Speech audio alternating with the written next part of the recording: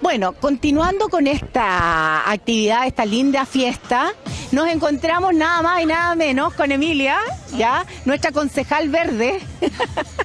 y de la mujer. Hola Emilia, ¿cómo estás? Hola, felicitaciones por el evento precioso, de verdad me saco el sombrero por todo lo que están haciendo. Hoy, muchas gracias. ¿Hay algo nuevo que contarnos, Emilia?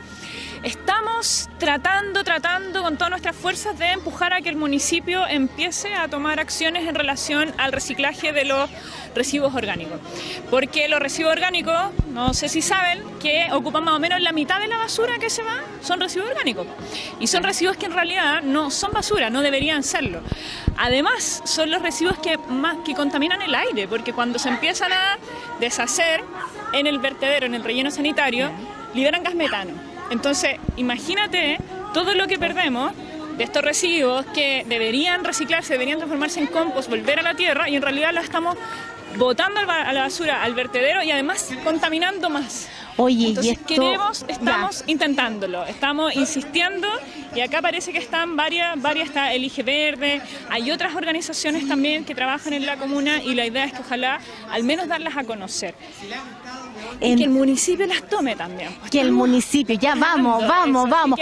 y es súper importante también que los vecinos, las vecinas también presionen por eso, porque claro, uno está en el consejo y puede hablar y puede insistir, puede decirle al alcalde esto es importante, pero si el alcalde no siente que es importante para la comunidad, difícil que lo haga. Difícil. Entonces, ese también es el llamado, porque yo sé que Ñuñoa y tenemos mucha conciencia ambiental, o muchas ganas al menos.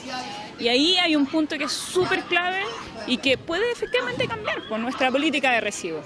Bueno, en, eso, vamos, oye, harto, harto, demasiado. No, y nos interesa. ¿Sabes qué? Realmente estamos tomando conciencia. Yo creo que lo bueno es qué, qué planeta o qué espacio le estamos dejando a nuestros seres queridos. Así que personas como tú, Emilia, que es un encanto siempre que la, que la vemos, eh, invitadas para la próxima eh, actividad que tengamos y tú también, pues si hay algo, una novedad, también nos, nos hablamos. Vamos Aquí a estar estamos.